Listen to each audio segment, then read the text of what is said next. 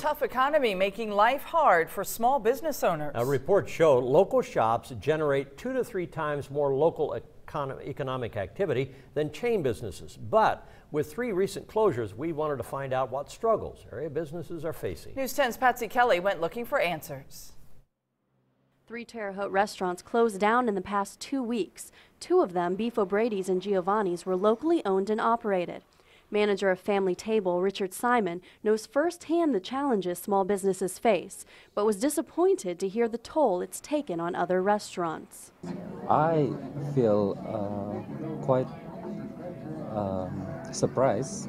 Uh, it could be because we might be next. You never know.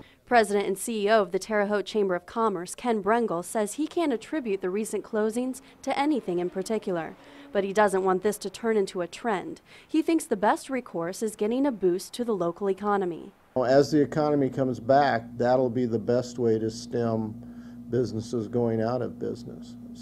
Richard says it's difficult for locally owned and operated businesses to compete against chain corporations, but he thinks they're doing quite well, expanding to two locations, one being less than a year old.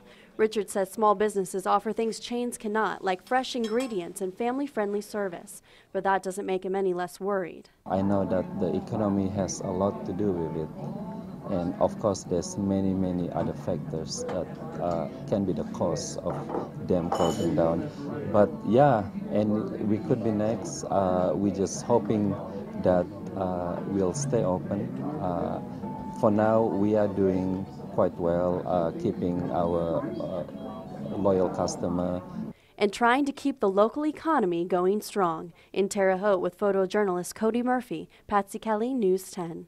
News 10 tried reaching out to all three businesses. None could be reached for comment.